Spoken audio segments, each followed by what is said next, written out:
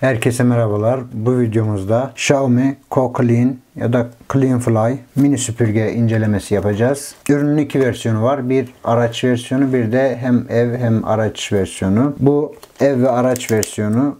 Onun için yanında böyle bir adaptör gönderiyorlar. Ürünü Banggood gönderdi. Yanında gelen adaptör 12 volt 2 amperlik bir adaptör. Çince bir şeyler. Bu adaptörde yine gördüğünüz gibi Cleanfly'ın Avrupa tipi girişi var. Buna küçük bir adaptör takmamız gerekiyor. Evet şimdi kutumuzu açalım. Ürünün emiş gücü 5000 PA. Şarj süresi 1,5-2 saat. Çalışma süresi 12 dakika. Hacmi 100 cc yani 0,1 litre. Ağırlığı 560 gram. Gürültü düzeyi 75 desibelin altında. Bataryası 2000 miliamperlik 7.2 volt bir batarya. 80 watt gücünde 12 volt 2 amperle şarj oluyor. Burada bir kağıt çıkıyor. Geçtik. Kullanım kılavuzu süpürgemiz, çakmaklık şarj kablosu, bu da teleskobik uç, biraz sert bir plastik, tutacak yeri karbon fiber yapılı, alt tarafta bir ledimiz var. Burada şarj yuvasını görüyorsunuz. Açma kapama tuşu, batarya göstergesi. Ürünün bazısında Co-Clean yazıyor, bazısında Cleanfly. Aslında ikisi de Xiaomi. Burada da gördüğünüz gibi Co-Clean'ce dizayn edilmiştir diyor zaten.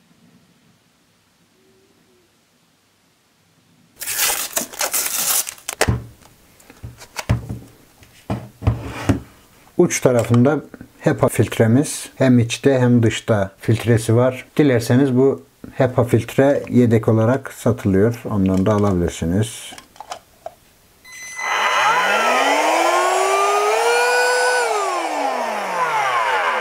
Oo, biraz sesli çalışıyor. Evet bu teleskopik ucu da şu şekilde kullanabiliyoruz.